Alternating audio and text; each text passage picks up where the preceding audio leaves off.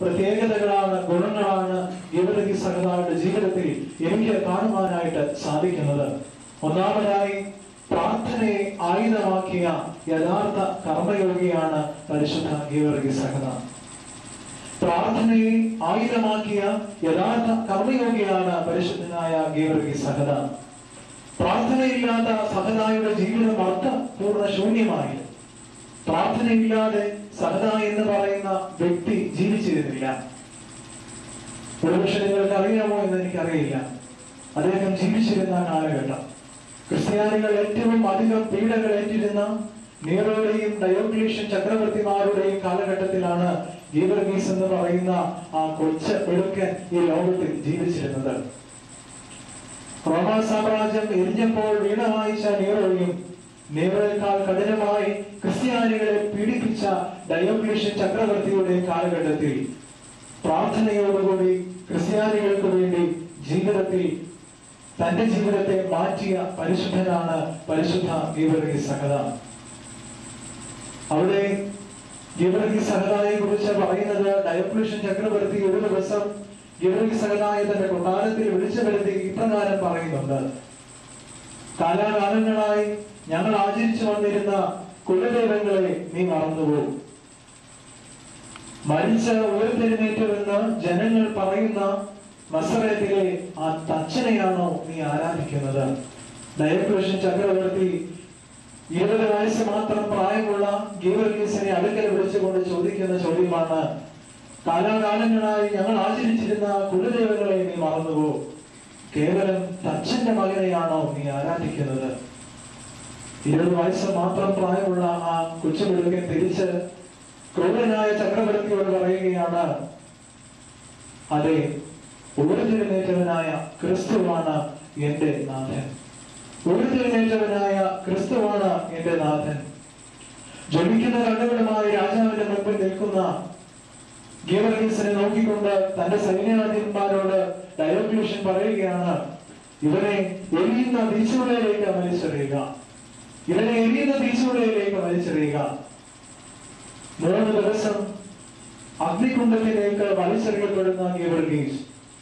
ചരിത്രം പറയുന്നത് മൗനമായി ദൈവസന്നിധിയിൽ ആ തീക്കുണ്ടത്തിൽ നിന്നുകൊണ്ട് മുട്ടുകുത്തി ദൈവസന്നിധിയിൽ പ്രാർത്ഥിച്ചു വെക്കുന്നതാണ് മൂന്ന് ദിവസം കഴിഞ്ഞിട്ടതിനു ശേഷം അഗ്നികുണ്ഡത്തിന്റെ വാതിലിൽ രാജാവ് തുറന്നു നോക്കിയപ്പോൾ ഡയോക്ലീഷ്യൻ കാണുന്നത് ദാനിയൽ പ്രവാചകന്റെ പുസ്തക പുസ്തകത്തിൽ നെബുക്കദ്നേസറിന്റെ അഗ്നികുണ്ഡത്തിൽ നിന്നും രക്ഷപ്പെട്ട ആ ശദ്രക് കബോധനങ്ങൾ എന്നീ പൈതങ്ങളെക്കാൾ തീക്ഷ്ണതയോടുകൂടി ജ്വലിക്കുന്ന മുഖവുമായി ഡയോക്ലീഷ്യന് മുൻപിൽ നിൽക്കുന്ന ഗീവർഗീസിനെയാണ് തൊഴിലെഴുത്തുകൾ കൈ കൈകൂപ്പിക്കൊണ്ട് പ്രാർത്ഥനയോടെ കണ്ണുനീർ തന്റെ കണ്ണുകളിൽ നിന്ന് ഇറ്റിറ്റ് വീടുകൊണ്ട് ദൈവസന്നിധിയിൽ പ്രാർത്ഥിക്കുന്ന ഈ പരിശുദ്ധന്റെ മധ്യസ്ഥതയാണ് പ്രാർത്ഥനയാണ് ഇന്നും അനേകായിരങ്ങളെ നമ്മുടെ ജീവിതത്തിലേക്ക് അടുപ്പിക്കുന്നതെന്ന് നമ്മൾ പ്രത്യേകം ശ്രദ്ധിക്കണം.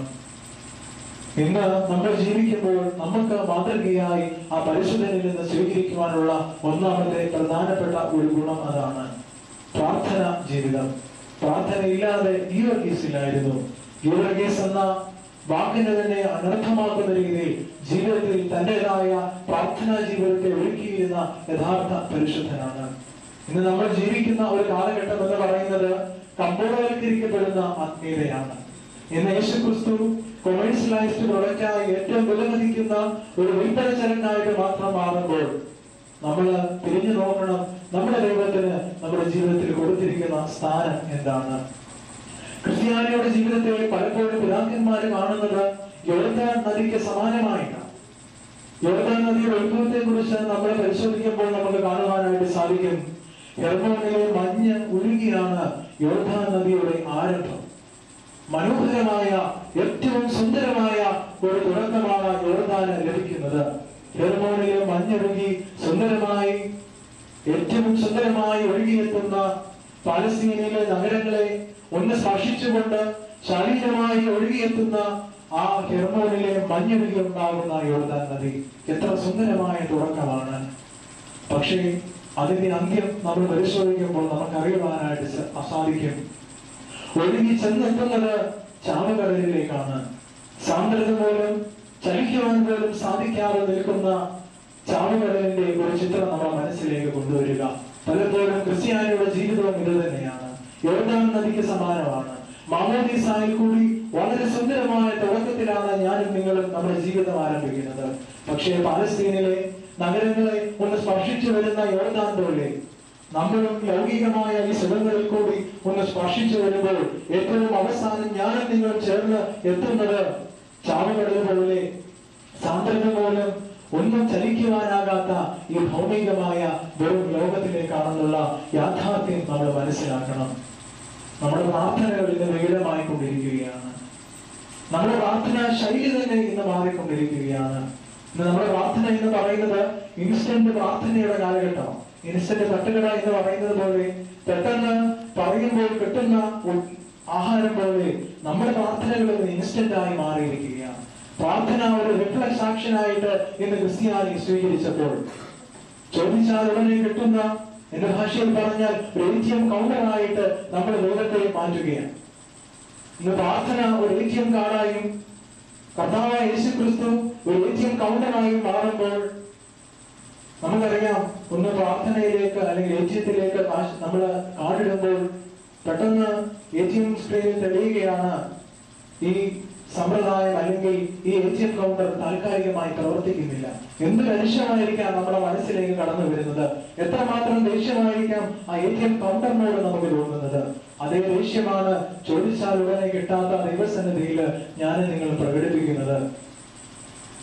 ഒന്ന് ചോദിച്ചാൽ ദൈവം അല്പം താമസിക്കുകയാണെങ്കിൽ തന്ന ആയിരം നന്മകൾക്ക് പകരമായി ആ ഒരു ചെറിയ കുറവിനെ കുറിച്ച് മാത്രം ഓർത്ത് വിലപിക്കുന്ന ഒരു സമൂഹത്തിലാണ് ഞാൻ നിങ്ങൾ ജീവിക്കുന്നത്. ക്വാളിറ്റിയുള്ള ദൈവത്തിനെ അന്വേഷിച്ചു പോകുമ്പോൾ നമ്മൾ മനസ്സിലാക്കണം നമ്മുടെ ദൈവത്തിന്റെ പ്രത്യേകത എവിടെയെന്ന്. എവിടെയാണ് എന്റെ ദൈവത്തിന് എന്റെ ജീവിതത്തിൽ സ്ഥാനമെന്ന് നമ്മൾ മനസ്സിലാക്കണം. ഒരു കുഞ്ഞു കുഞ്ഞു കഥ പറഞ്ഞു കേട്ടിട്ടുണ്ട്. ഒരിക്കലും ഒരു സന്യാസി താൻ ഏറ്റവും അധികം സ്നേഹിച്ചിരുന്ന ഒരു ദൈവമാണ് ശ്രീകൃഷ്ണൻ എന്ന് പറയുന്നത്. അദ്ദേഹം ഒരിക്കൽ ഹരിദ്വാറിൽ തന്റെ യാത്രയുടെ മധ്യത്തിൽ വിഗ്രഹങ്ങൾ വിൽക്കുന്ന ഒരു സ്ഥലത്തിലേക്ക് കടന്നു ചെന്നപ്പോൾ മനോഹരമായ സുന്ദരനായ ആ ശ്രീകൃഷ്ണന്റെ ഒരു പ്രതിമ അവിടെ ഇരിക്കുന്നത് കണ്ടു. അദ്ദേഹം തന്നെ ഹരിദ്വാറിലേക്കുള്ള യാത്ര അവസാനിപ്പിച്ച് ആ ശ്രീകൃഷ്ണന്റെ പ്രതിമയുമായി താൻ താമസിച്ച സ്ഥലത്തേക്ക് ഓടി ചെന്നു. അദ്ദേഹത്തിന് ഇനി ജീവിതത്തിലൊന്നും വേണ്ട.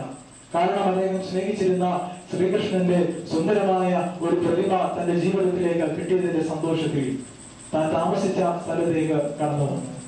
തിരികെ പോകുവാനുള്ള ഒരുക്കത്തിനിടയിൽ തന്റെ വസ്ത്രങ്ങളൊക്കെയും അടുക്കി വെച്ചു.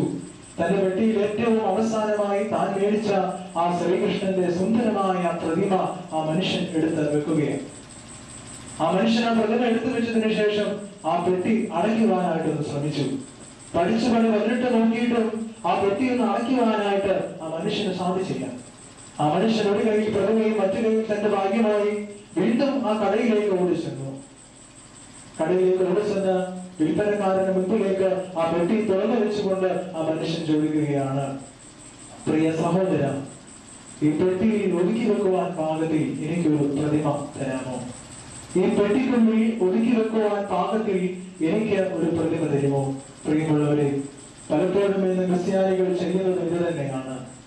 സർവവ്യാപിയായ കർത്താവായ യേശു ക്രിസ്തുവിനെ ഈ കൈക്കുള്ളിലേക്ക് ഒതുക്കുവാനായിട്ട് ഞാൻ നിങ്ങൾ ശ്രമിക്കുകയാണ്. പലപ്പോഴും അവിടെയാണ് ഞാനും നിങ്ങളും യുവദാസന്മാരായിട്ട് മാറിപ്പോകുന്നത്. ജീവിതം പരിശോധിക്കുമ്പോൾ തന്റെ കയ്യിലൊതുങ്ങിയ ആ മുപ്പത് വെള്ളിക്കാശിന് വേണ്ടി ലോകരക്ഷിതാവായ യേശു ക്രിസ്തുവിനെ ഒന്ന് കയ്യിൽ ഒതുക്കുവാനായിട്ട് അവിടെ യൂദാസ് ശ്രമിക്കുമ്പോൾ ഈ ഒരു അന്ത്യം ഈ ലോകം കണ്ടതിൽ വെച്ചും ഏറ്റവും പൈശാചികമായ ഒരു നാശത്തിലേക്ക് ഒരു വീഴ്ചയിലേക്ക് അവിടെ യൂദാസ് മാറുകയാണ്. ഞാനും നിങ്ങൾ മാറുവാൻ പോകുന്നതും ആ ഒരു യുഗത്തിലേക്കാണ്.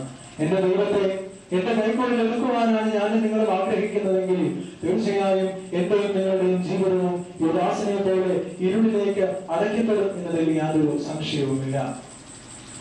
ഞാൻ കാസർഗോഡ് നിന്ന് തിരു- തിരുവനന്തപുരത്തേക്ക് യാത്ര ചെയ്യുമ്പോൾ കാഞ്ഞങ്ങാട് എന്ന് പറയുന്ന സ്ഥലത്ത് റെയിൽവേ സ്റ്റേഷന് സമീപത്ത് ഒരു ഫ്ലെക്സ് ബോർഡ് വെച്ചിരിക്കുന്നത് ഞാൻ കണ്ടു. അതിന്റെ തലക്കെട്ട് ഇപ്രകാരമാണ് അജ്ഞാതനായ യുവാവ് എഴുതിയ ഒരു വാക്കുകളാണ്. ആരാണ് എനിക്ക് എന്റെ ദൈവം? ഇതാണ് ആ ശീർഷകത്തിന്റെ തലക്കെട്ട് പ്രകാരമാണ് ആരാണ് എനിക്ക് എന്റെ ദൈവം? താഴെ ആ മനുഷ്യൻ ആവർത്തിക്കുകയാണ്.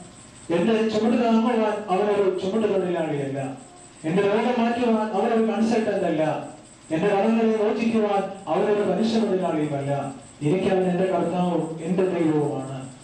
ഇന്ന് ക്രിസ്ത്യാനി ദൈവത്തിന് ഉപയോഗിക്കുന്ന മൂന്ന് തലങ്ങളെ കുറിച്ചാണ് ആ മനുഷ്യൻ വ്യക്തമായിട്ടും അവിടെ പഠിപ്പിക്കുന്നത്. എനിക്കും നിങ്ങൾക്കും എന്റെ ദൈവം ആരാണെന്ന് ചോദിച്ചാൽ